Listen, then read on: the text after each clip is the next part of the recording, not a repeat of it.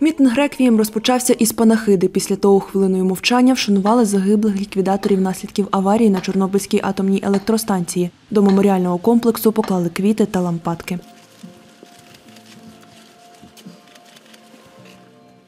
Тернополянин Василь Мороз розповідає, розчищав рижий ліс після аварії на Чорнобильській АЕС. Саме більше радіації то взяв рижий ліс від реактора. Його ж не валили ліс і засипали піском, щоб радіація не йшла, бо його спалити неможливо, бо то ще би було, типа, ще один реактор, так як зірвався би. Василь Мороз пригадує, коли замерзла річка Прип'ять, їм не могли доставити їжу. Ми пили ту заражену воду три сутки, що мали сухпайок. При такій владі нам не могли вертольотом доставити нічого.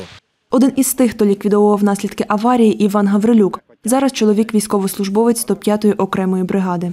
При під'їзді до самої станції десь приблизно 12-15 кілометрів ем, відчувався такий ем, солодковато-металічний привкус. Ну це дуже здивувало якось, що це таке. А це якраз напевно, що фонила сама станція. Після самої станції я хворів, досить сильно хворів. Дуже сильне було ем, на вестибулярний апарат. Якщо чесно, ем, таке було положення, розумієте, ніби земля уходила з-під ніг, я мусив зупинитися, постояти трішки, щоб організм став якось свою норму. За словами голови обласної організації Союз Чорнобиль Україна Олександр Деркача, на Тернопільщині є 1939 ліквідаторів наслідків аварії на Чорнобильській атомній електростанції і майже 34 тисячі осіб, які мають статус постраждалих від Чорнобильської катастрофи.